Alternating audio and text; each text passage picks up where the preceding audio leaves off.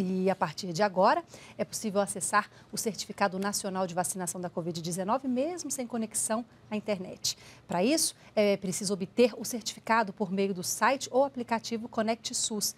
Após a emissão do documento, basta fazer o download e criar um atalho para acessá-lo offline.